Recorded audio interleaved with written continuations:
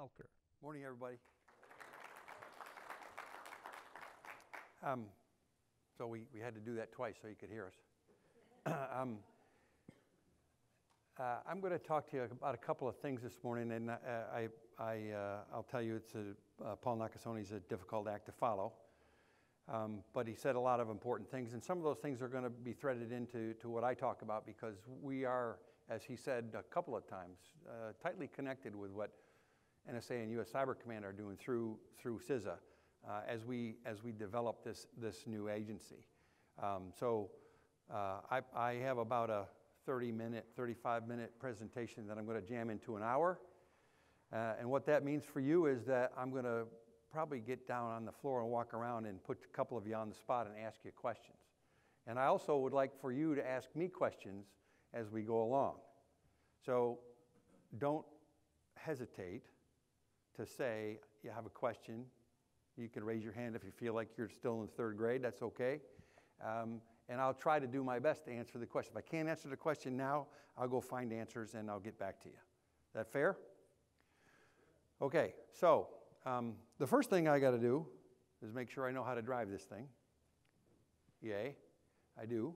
The first thing is a shameless plug for DHS CISA cyber talent hiring.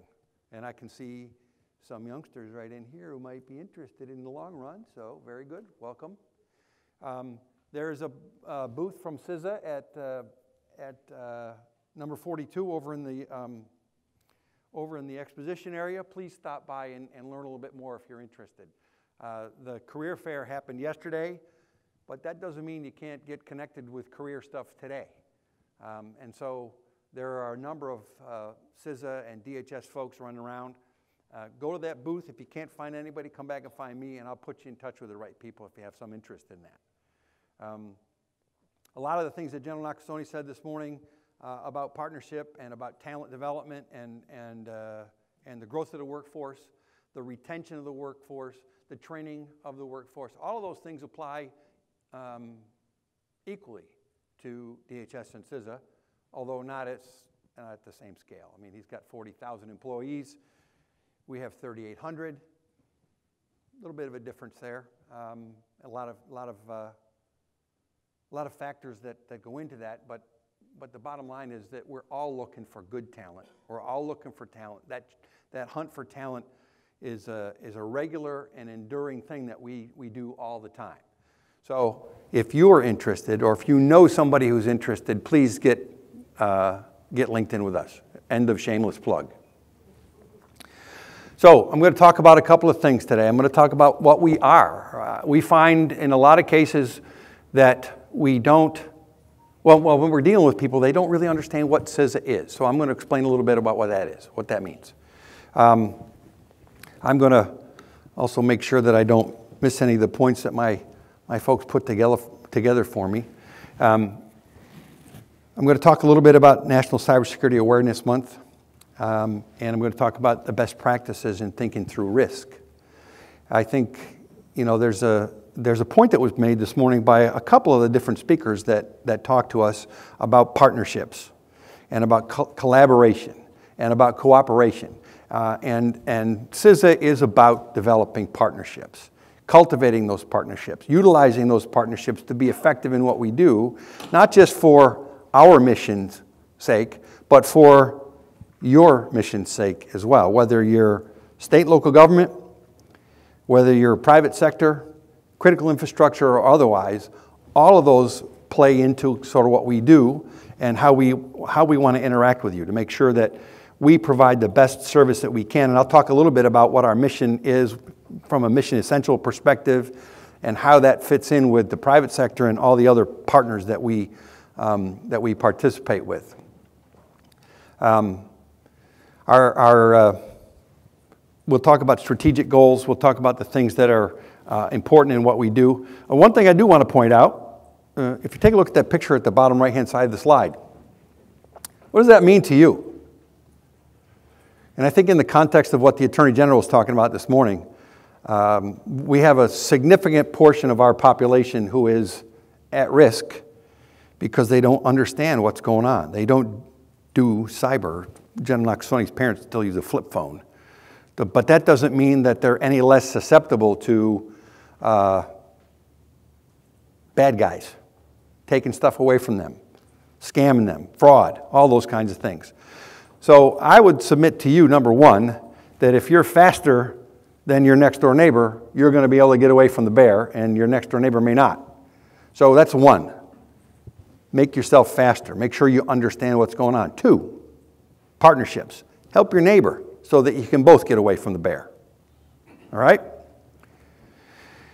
So, we have all this going on. We have cyber all over the place. Everybody's got something to do with cyber. Everybody's got a great tool. Everybody's got a different little appliance that they want you to plug into your computer. And what does it look like? It looks like some eight year olds playing soccer, doesn't it? Everybody's, you, you always know where the ball is in an eight year old soccer game, don't you? Well, how can you tell? There's either a crowd, or there's a cloud of dust, or both. And in, in, in some respects, the way I look at cyber, we, we're there right now. And, and the thing that concerns me is that we're, we might not all be rushing to the right place.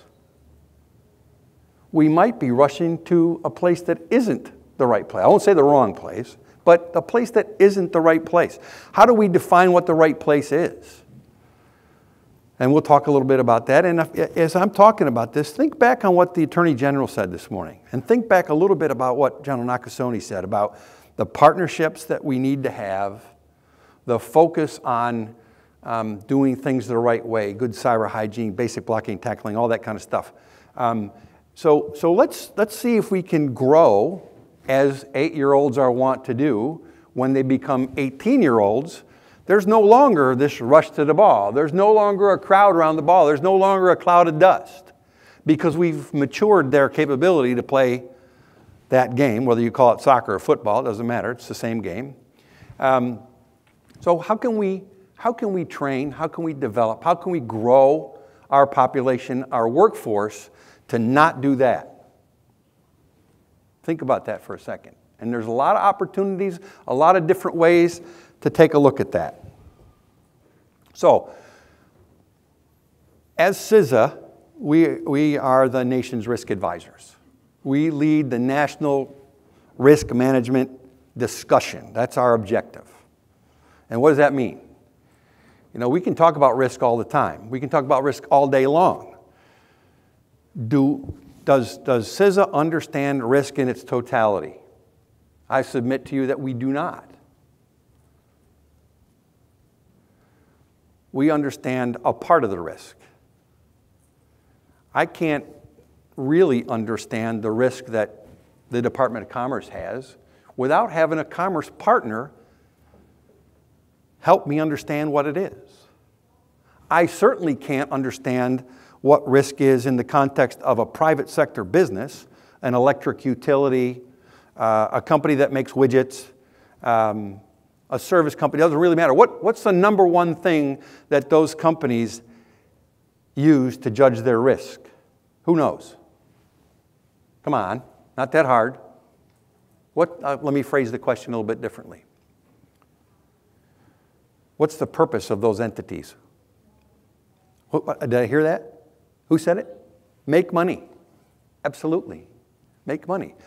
So it's very difficult for a governmental organization to assess risk in the context of a thought about the bottom line, isn't it? What does that mean? That means that we have to bring those partners in so that we understand how they calculate that risk and how does that risk apply to the way we look at risk and understanding of risk in terms of national critical functions, for example. What are the downstream effects of a water treatment plant in Tampa that goes out because you had a storm or because you had a, a cyber incident? What happens? You might not get water. You might have sewers backed up. You might have all those kinds of things. We understand that physical impact and that risk, but what does it mean to either the municipality or the shareholders of that entity when that kind of an event occurs. we, we, we understand intuitively, yep, it's bad, but we don't understand it down to a granular, granular level where we can make a, um, a comparison of cost versus risk. So, part of what we want to do as the nation's risk advisors is take a look at these four things from our perspective, and I'll talk about the four things in a second, and bring partners in to help us understand their element of risk compared to those four things that are on that slide. So, the first one's kind of easy because our, uh, one of our major uh, functions is federal network protection. I used to run the National Cybersecurity and Communications Integration Center, and, I, and, and people will always say, well, you're doing, you're doing um, cyber defense for X, Y, and Z. No, we're not. We don't do cybersecurity. We help you do it better. Our job is not to defend your networks. Our job is to provide you information. General Nakasone is talking about this. At unclassified level, if we can, from our piece of the pie. What do we see? What can we bring to the table that will help you do federal network protection better? We have programs called Einstein. We have the CDM program, Continuous Diagnostics and Mitigation. We have automated indicator sharing. All these programs come together and provide information so the defenders that are on the ground in the federal networks have a better sense of what's going on in their networks and how they can better defend those networks. So that's, that's part of the first part of the, the uh, risk, um, risk equation. The second one is emergency communications. So if you recall, some of you probably weren't born um, on 9 11. But what was the biggest problem that the police and fire services in New York City had on 9 11? Comms. They couldn't talk to each other, right? Police are on one set of frequencies, fire's on another set of frequencies. Oh, by the way, the culture in the police department in New York and the fire department in New York is pretty different too. Um, I won't say either one of them is bad, they're not. They're, they're great organizations, but they have that, you know, that typical police fire head knocking every now and then. And so by, by default, they had these two communications issues that, that they just couldn't talk to each other. We learned from that, thankfully. A lot of other lessons were learned on 9 11, but that was one of the big ones. And this emergency communications group that is part of CISA is focused on that. How do we make sure that police, fire, EMS, public services, whatever, in state and local partners can talk to each other when it's important for them to be able to talk to each other. And if you don't, how do you understand the risk? Are you willing to accept risk of not being able to talk to each other or not being able to talk to the jurisdiction that's next to you that you're going to have to count on if you're overloaded by, well, today we have two giant wildfires going on in California. Don't you think there's the need in those instances for police, fire, EMS, and public service to be able to talk to each other. And particularly if you think about it from this perspective, you have a fire of 70,000 acres, and you probably have at least three cell towers in that area that don't function because the comms providers will turn them off because if they don't, they'll really get trashed. Um, so you can't count on cell phones to talk to each other. Emergency communications helps understand that risk before an event happens. Bring partners together to sort out and understand what those risks are for uh, both jurisdictional jumps and internally. That's, that's what they do. Um, comprehensive cyber protection. I, I, don't really like that word because we're not protecting what, well, like I said earlier, we're helping you understand your environment. We're helping you understand the environment that's out there so that you know what the risks and the threats might be. Um, there's discussion this morning from a couple of different of the speakers about the elections. Significant amount of potential for mischief, particularly by nation state actors, to cause, cause our citizenry to not necessarily have full faith and confidence in our voting system. Part of our job is to help un understand what that risk is and figure out ways to mitigate it. Some of the greatest talent in the country is, in fact, the intelligence community and the folks that help us get ahead of that. And I, uh, you know, the uh, Anne Neuberger's next door talking about cybersecurity division. One of the things that they're going to do is, just like the general said this morning, how do we get that information down to an unclassified level so that we can share it rapidly and effectively? And that means two things. That means working through that process. It also means developing the partners that you trust that you can share that information with. Oh, and by the way, if you're going to develop partnerships, when's the time to do it? Way ahead of time. You know, I used to work for a guy called Thad Allen, and you might remember him from the television for Katrina and for Deepwater Horizon. But one of his favorite sayings is, it doesn't do us any good to share business cards in the middle of a disaster. So develop the partnerships early.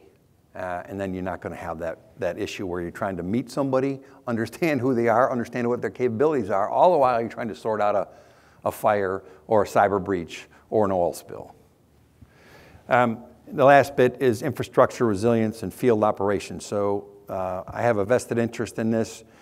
The field forces of CISA in our regions, protective security advisors, cybersecurity advisors, emergency communications uh, advisors, all are part of our organization, and they're working every single day with state and local partners to understand things like physical risk, cyber risk, communications risk, and how do you, how do you put together uh, the community, whether it's a community in a city, or whether it's a community across a couple of counties, or a statewide community to be able to talk to each other, to be able to communicate with uh, each other. Oh, by the way, in the same language.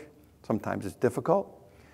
Cyber people talk a different language than the comms people do. Emergency, emergency managers talk a way different language than the cyber folks do. We learned that yesterday in the exercise, right? Um, there's, there's that difficulty that we've got to work through. And the partnerships that you develop can help us mitigate some of those challenges that we have. So, CISA as an agency, the nation's risk advisors, and the, the, uh, we'll talk about four of the mission essential functions that support those things that I just talked about. Number one, incident management. Bad things happen. Fires, floods, oil spills, cyber events. Our job is to help understand that, help bring people together to work through the, the, the management of that incident to mitigate it with as least, the least amount of damage possible um, through a number of different partnerships, through a number of different skill sets, uh, and, and that's, that's the, the big one. And the way, the way I believe that we succeed is developing those partnerships now. Um, sort of what we do on a regular daily basis is meet with state and local officials, what are your issues? What are your problems? What are the things we can help you understand? And so forth. Um, so that's, that's number one. Number two, analysis. Two sides of the equation here. One side, pretty obvious analysis of cyber incidents, analysis of what the threat is, what the uh, attack surface is, what the event has just caused to happen and how did that cause it to happen? You know, forensic analysis, incident response, out you go, collect the data, bring it back in, turn it over quickly. By the way, we're not turning it over only in CISA, we're turning it over with our partners, so we have access to law enforcement and intelligence community information that helps us provide a much more fulsome picture of what's happened from an analysis perspective. We're also looking at analysis on the physical side. So if you think about, um, this is not a great example, but it's a, a little bit instructive. Think about El Paso and Dayton and the shootings recently. Predominantly a law enforcement issue, right? But our analysis of those situations helped us think through what could we have done better to prepare the secretary of DHS had a big emphasis on understanding the beginnings of, of um, homegrown terrorists, because a lot of the homegrown terrorist stuff manifested in some of those shooting incidents. So, analysis of those kinds of events so that once we do the analysis, analysis and we learn what happened, we can put that into a format that state and local folks can use to make adjustments in their process and procedures. We provide that analysis because there's not the capacity at the state and local level, for example, to be able to do that in all cases. You know, it's kind of hard, it would be kind of hard for a, a police department in Bozeman, Montana to do an analysis surrounding the El Paso shooter, don't you think? Because the police department in Bozeman, Montana has probably got about four people in it. You get where I'm coming from, right? This is some of the analysis that we can provide to help people prepare for and understand the risk that's going to be a part of their daily lives. Second, third thing, capacity building. This is a big deal. This is assessments. This is exercises. This is training. This is awareness of all those things across all levels of government and the private sector. Um, I think two weeks' time, there's a big exercise called GridEx, which brings in the um, uh, electric utilities, um, electricity generation, electricity transmission, ele electricity distribution, and they're all different. Um, what happens when we have a bad day in the grid nationwide? And oh, by the way, what happens in this country if power goes out? You get people who get pretty cheesed off, don't they? And they get cheesed off if power's out for an hour.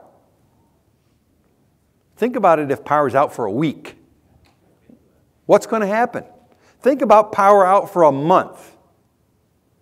What are we going to do? What's going to happen? I'll tell you one thing you won't be able to do after about the first week. You won't be able to use these. At least you won't be able to use them as widely because those cell phone towers require power. And you can't put a generator at every one of those cell towers to operate the cell system because A, don't have enough generators to do that, and B, you got to fuel them. And there's not that much fuel distribution to go around to be able to support an event like that, right? So all, all those things occur. How do we build capacity to get around that when we have a bad day with the electric grid? And then the second part of that, all right, we've talked about how we do these things. How do you train your people? How do you develop your people? What's the, who can tell me what the next step is when you get there? What do you have to do next? I got a process and procedure. I'm ready to go. I'm ready for the worst thing that could possibly happen on that day. What's the next thing you got to do? Test it. How do you test it? he says, make the grid go down. I'm not sure I'd want to do that. So, one step short of that, what's, what's, the, what's the best way to test it? Have an exercise. And by the way, I think we need to change the way we view exercises generally. I won't point any fingers. What should you be doing in an exercise? Testing your procedures, like the, like the gentleman back there said. But you should be testing those procedures to a level of failure.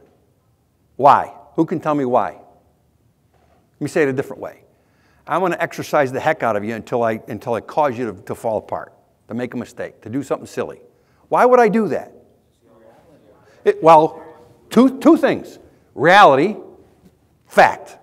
Second thing, because then you learn what you got to fix. You learn where you need to do some more training or some more development. You know, this is something that's, that's grown into folks that grew up in the military. I spent 30 years in the Coast Guard. Very proud of that fact. But every time we did an exercise, we exercised to failure. Why? Because we want to learn where the holes are. We want to learn, is there a better way to do it? And it's a, it's a time to do it. It's, it's not necessarily stress free, but you're allowed to fail. And failure has no consequence because it's an exercise. So it's important to keep that in mind at the state and local level. We, you know, we have all these, we have these exercises going on all the time. And, and it's important to understand we're not trying to make you look bad. We're not trying to, you know, change your report card. The idea is to exercise so you get to a point where, hey, we've learned some things, let's make some things better. Last one um, information exchange. And this was a big deal that both uh, General Nakasone talked about and the Attorney General talked about. How do we share information? And I think, I think um, the General said it really quite well that, you know, we, we, we see this part of the world, but we have to bring on our, par- our partners to see different slices of that pie to try to grow a full picture of what, what really is, to be, to be better at understanding the whole thing. Uh, and that's one of the things that we, we strive to do. We're, we're doing similar things that, that he was talking about with the partnerships with the Brits. We, we've had those standing partnerships with them. Uh, all the Five Eyes partners Australia, New Zealand, Canada, UK, and, and several others. The, the players you might su- suspect the Singaporeans, the Japanese, um, the French, the Germans, uh, the Scandinavian countries, the, the Baltic states. Uh, all of those partnerships are at different levels, but they're critical and, and they see they see things a lot of times from a different perspective than we see, and they see it sometimes before we see it. Great example, WannaCry. Who knows what WannaCry was? Raise your hand. Yep. How do you think we found out about it? You know who told us? The Brits. Because it was one of those follow the sun things. Who told the Brits? The Finns. Right? Great example of how you develop a partnership before something bad happens. Pick the phone up, call Hey, I'm seeing this. What are you seeing? Our, our 24-7 uh, Watch Center has two calls a day at 6.30 and 6.30 with all the cyber centers in the federal government so that we all share what are we working on now, what's at the top of the hit parade for our respective agency heads, and what are we seeing related to those things that are at the top of the hit parade. So this information exchange is critical to success. And by the way, I don't call it information sharing anymore. I call it exchange. Why do I do that?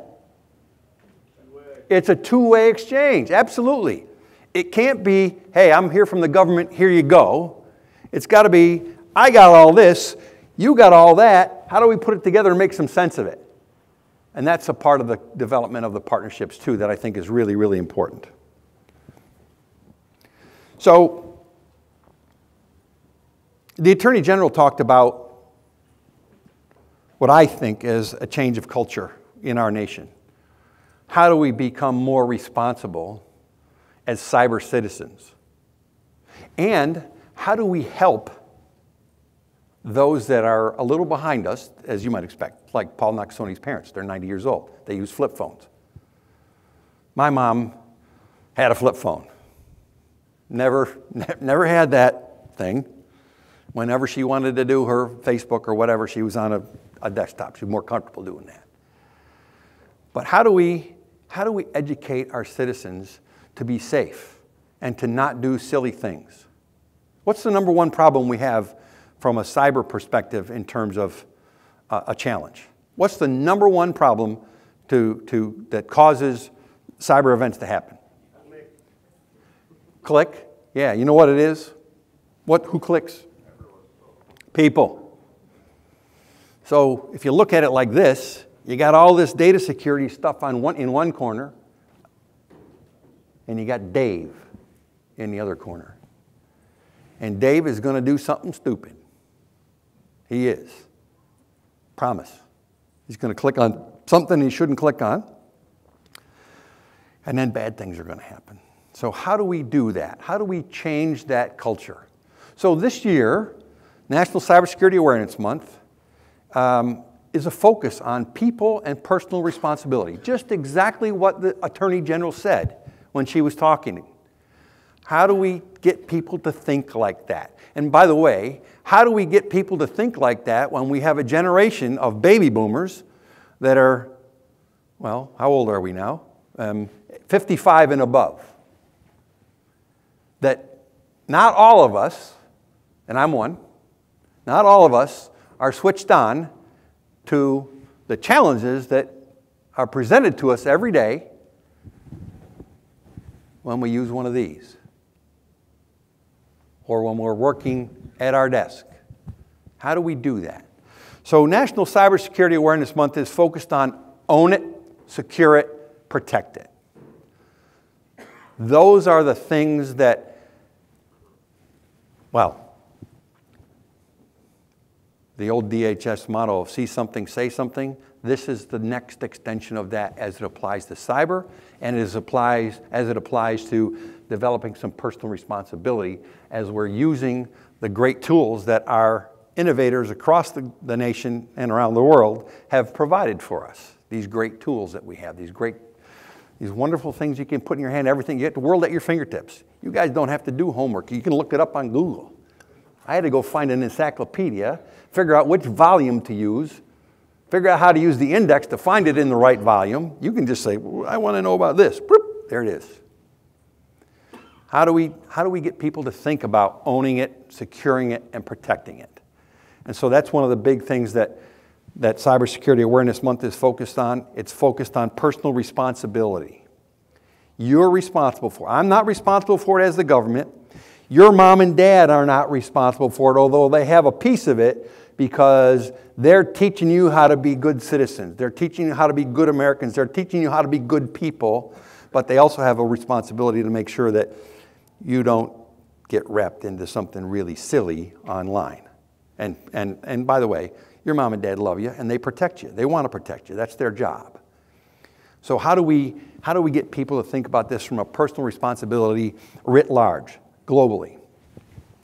Um, the other thing that I think you need to keep in mind, and, and this is sort of an aside, but it's really an important aside, and that is this is, a, this is about privacy. How can we, we have a, a culture of wanting to keep things private in this country. Well, at least baby boomers do. I'm not so sure about the up and coming generation because everything you do is online. I can find your profile and I can do what you did. I can see what you did for the last 10 minutes because it's right there.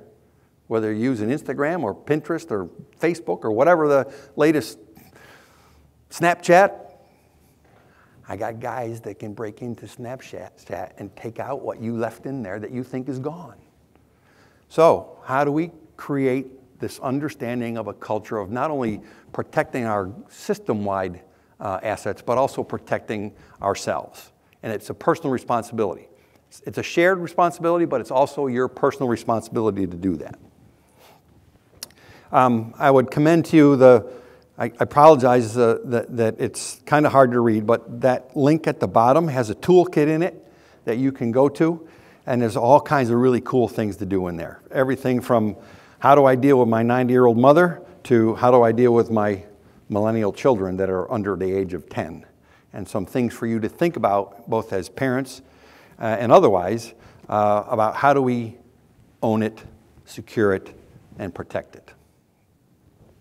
So, last thing I was going to talk about is related to generally uh, cyber best practices. What are the things that we think about um, on a day to day basis? some of the things that I would hope you would think about on a day to day basis. And we talked about this a little bit yesterday. I was here for a state and local exercise, uh, and this, this theme uh, came up frequently in the discussions. Leadership has to own it. Think about what I just said about own it, secure it, protect it. In an organization that's doing a business or doing a government mission, leadership can no longer abdicate their responsibility to be cyber secure. They have to own the problem. They have to understand the problem. I can't say, if I'm the leader of an agency, okay, CIO, off you go, handle it. Wrong answer. There has to be some ownership on the part of leaders. And we're starting to see this more and more. Because if you look at some of the private sector, particularly the, the big companies where they have a big board of directors, what are they doing? They create a cyber committee. They're bringing people in to the board who understand cyber. And I'm not talking about ones and zeros. I'm not talking about hands on keyboard. I'm talking about how does cyber impact our ability to make money? How does cyber impact our ability to deliver the services that we deliver that cause us to make money. And how do I translate those things like vulnerability management to leadership so they understand it? We got to do that because if we don't, we are at substantially higher risk of not being able to make money. and people stealing our intellectual property. So at the end of the day, you can see these folks at the board level, at the CEO level, at the whatever level, who's at the top of the pyramid, need to own it. They need to know about it. They need to understand it. um, at dinner last night, uh, General Nakasone was talking about when he showed up at uh, Fort Meade to take over a, a SIGINT role. Um, he was about a month after I got there. Um, I, and I remember we, we had, we've lived some of the same experiences. The big one was General Alexander creating U.S. Cyber Command and making sure that it fit into the larger NSA CSS structure. How can we take advantage of the great intelligence capability that NSA has through the partnerships and the talent that they have on board? Um, but one thing General Alexander used to say if you do this, good cyber hygiene, basic blocking and tackling, patching, what a novel concept. I understand in some cases you might not patch because patches break things. But you need to understand, back to leadership needs to own. You need to understand what the impact of that patch is, and if it breaks something, how can you fix it? Or, mm, I'm not going to fix it, I'm not going to patch it, I'm going to accept that risk because the patch is down here.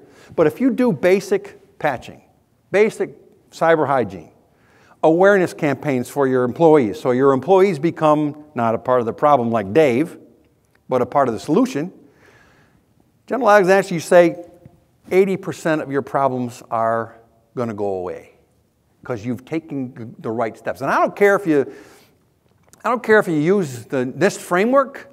I don't care if you use the 20 critical controls. Doesn't matter. Use something as a framework to do basic cyber hygiene. If you do that, 80%, more or less. But you're along the way. And by the way, think back to that slide where the bear's chasing the one guy, if you're at 80 and your neighbor's at 40, the, the bear's probably going to get the neighbor at 40, not you. Risk management. What can you accept? Go back to the patching equation. I have to balance security by doing the patch against the mission, the ability to do business, the ability to deliver social security checks. Um, so that's a, that's a balancing act of risk. And we need to start thinking about what we do more in terms of that and less in terms of you must. You must be in compliance because compliance doesn't get us all the way there. It, it's important that we get the people that are a part of this equation uh, to understand what's going on.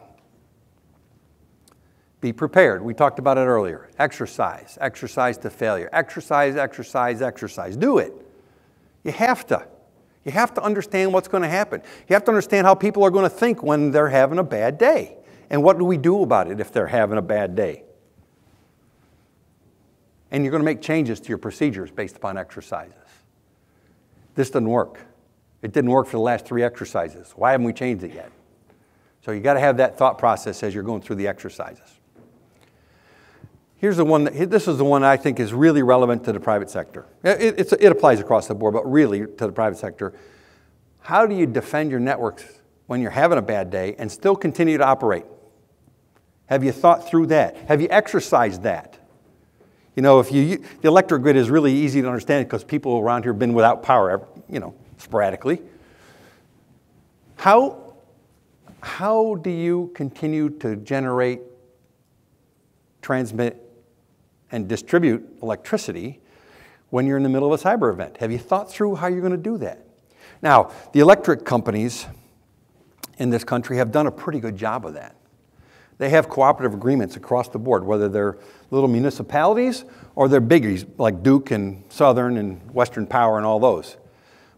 They've thought through what we're going to do. If we have a bad day here, how do we reroute traffic? How do we shift generation? All those kinds of things are a part of the equation. You need to do that in your business. You need to think about what am I going to do to continue to operate? At the same time, I'm defending my network. Oh, and by the way, I might be picking up some pieces because we just had a cyber event in Paducah that's part of our enterprise. Think through that, exercise that, set your procedures in place. Follow those procedures. That'd be a good idea. Lastly, leverage relationships. Every single one of the speakers this morning talked about the partnerships, whether they're, whether they're USF partnerships, Cyber Florida partnerships, NSA partnerships, uh, Florida Attorney General partnerships. Develop those partnerships early, before a disaster. Know who you can trust. Know who you can pick the phone up and say, hey, what are you seeing? Can you help me with this? And know that that person on the other end of the line is going to be able to help you, or at least is going to try. So if you do all of those things, if you do all of those things well, you're going to put yourself in a pretty good spot. You're going to make your own luck. You know, luck doesn't just happen. I'm convinced. You can make your own luck. You can make it so that you're in the best position possible. It requires effort. It requires you to do all the things that we've talked about this morning. It requires you to think about all those things that General Nakasone and the Attorney General talked about. But we can make our own luck. So the big question here is in this Cybersecurity Awareness Month, where personal responsibility in cyber is at the forefront, do you feel lucky? Have you done those things that you think you need to do that we've talked about here this morning? Do you feel lucky? Do you? Now, you don't all know who that is.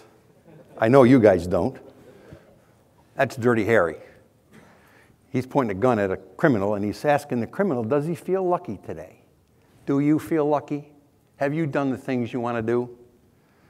Have you done the things you should do? One more shameless plug 42 is the booth number for those job seekers.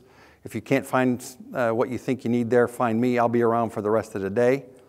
Um, I appreciate very much you, you all paying attention, um, interacting. I think it's much more useful when we can have that discussion rather than having somebody from Washington talk at you.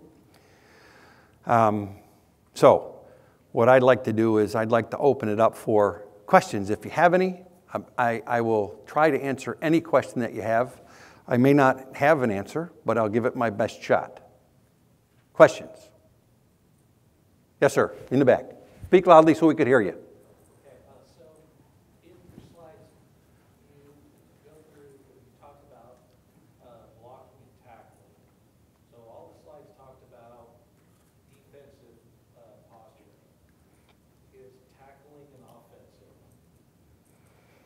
Is tackling an offensive?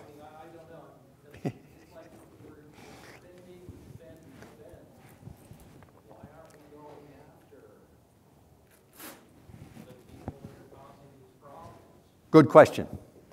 Um, so, two part answer. Uh, on the football field, tackling is a defensive activity. Tackling is defensive. Part two. Why aren't we going after some of these bad guys? Um, we are. The question is how far are we willing to go? And how far is our society willing to let us go?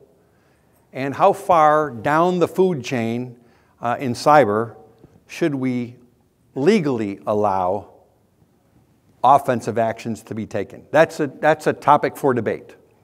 I'll tell you, take a look at that guy that was wearing the striped pants up on the stage today and what they do where he, the organization he runs.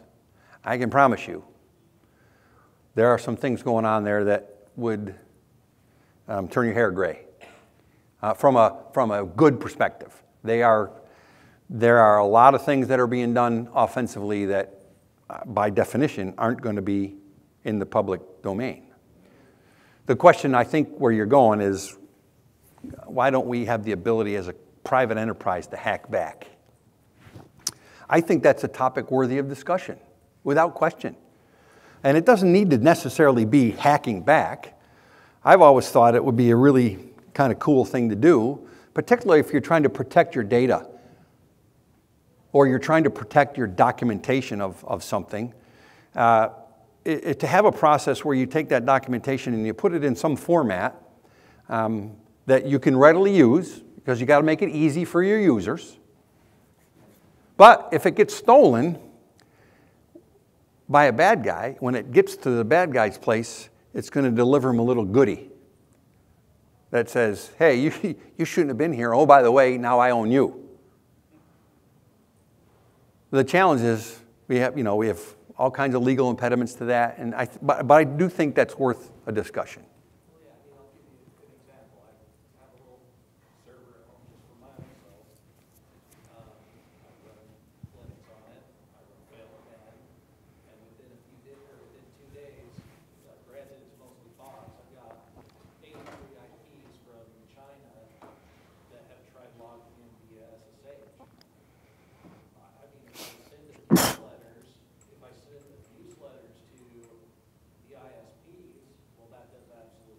Mm-hmm. So really, we just, I mean, personally, I would love just to sit back, you know, text packets and say, hey, let's meet in Tiananmen Square, or here's some pictures of Winnie the Pooh, something like that. But it, it comes with, well, okay, now great, I'm in, you know, now I get in trouble. Well, so you didn't hear this here, but I think that's pretty cool. Um, but secondly, realize that um, just because you know the IP doesn't mean you know where it's coming from. The bad guys are really good at, at IP hopping and IP spoofing, you know. So, so that's one of the challenges. You know, there's a lot of unintended consequences from, from hacking back. Now, if you want to send them a little picture of Winnie the Pooh, I, I think that's pretty cool. I didn't say that, though. Um, yes, yes, ma'am. When you work with, the, with your customers and you do the risk assessments and you uh, assess, you know, threats and vulnerabilities, do you also recommend the controls? Oh, yes. Or what's the end of your risk assessment? Yeah, we, we do. We, we, we, well, so we, we have a program where we do all kinds of different assessments, but we, we, we look at assessments at, at, the, at the granular level, so a red team assessment or a phishing campaign assessment, or, or, or uh, we, we do assessments of OT systems um, for pipelines and airlines and water utilities and different things like that. But at the end of that assessment, um, there's a sit down with, with management in that organization. This, these are the things we found. These are the things you can do about it. Oh, by the way, here's our booklet on best practices that include all those things that you just described. We, we regularly provide that. And, and those things are constantly being updated because we learn things from our private sector partners all the time. Oh, this is not right. You gotta, this has now evolved because now we're in a world of Linux and open source software. This has evolved past this to that. So you need to talk about this a little bit, but you got to talk more about that because that's where the industry is going. And that's the value of that two-way partnership and that exchange of information. That's why it's important to do that. Other questions? Yes, sir. Talk about Dave, right? You know, Dave's my hero. I think he's everybody's hero in this space, right? And, you know, there's the term, you can't fix stupid, right? Are, is there like a checklist from your organization of some things that you can do to help, you know, Dave not, you know, be Dave? Yeah.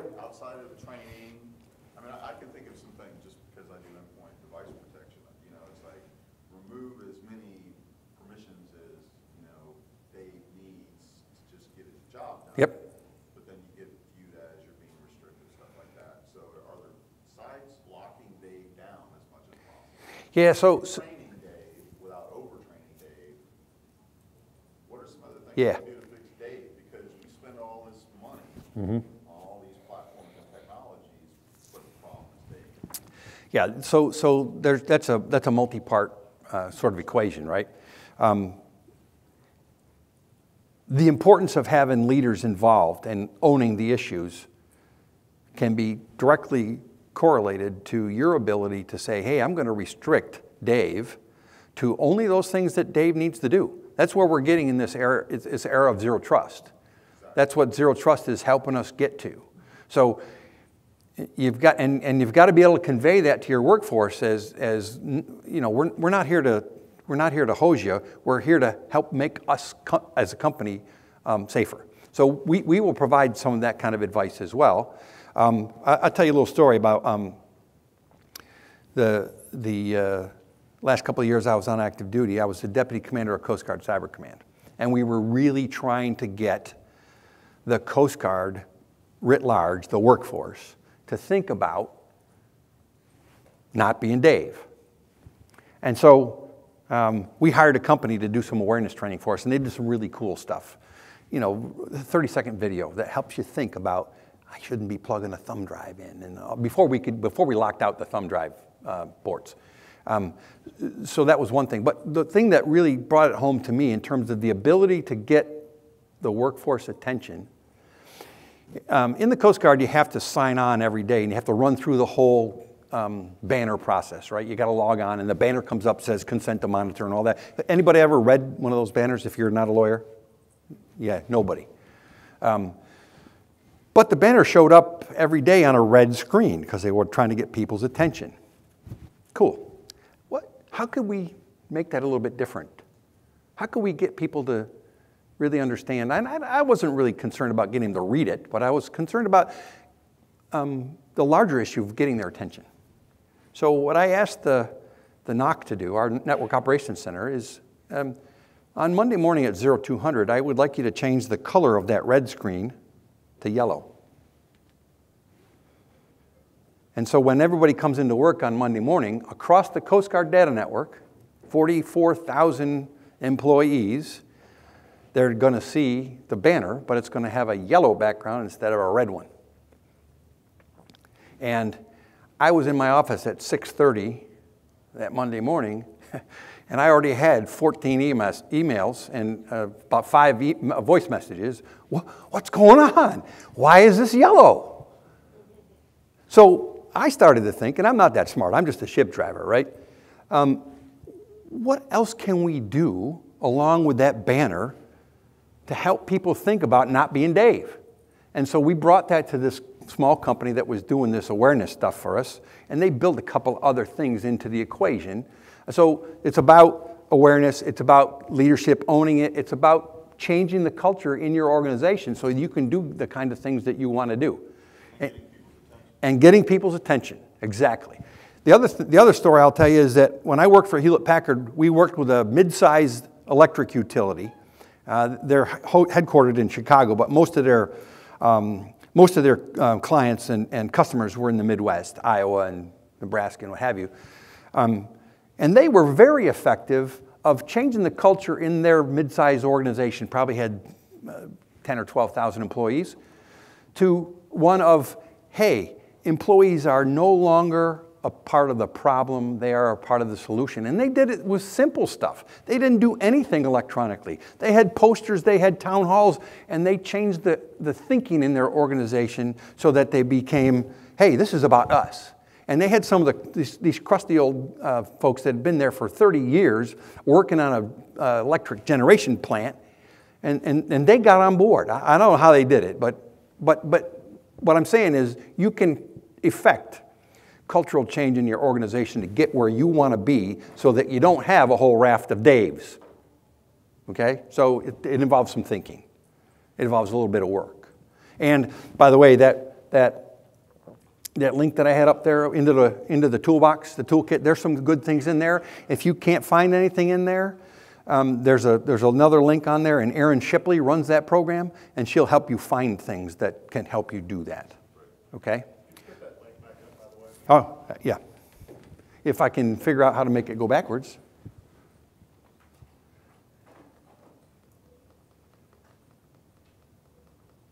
I should have put it at the end too. I'm not a really good PowerPoint designer. Did I go past it? Oh, it was the, it was. That one, yeah, there you go. So, um, again, thank you for paying attention. I really, really appreciate the, the back and forth. Um, I'll be around if you want to ask other questions, but that's it. Go have lunch.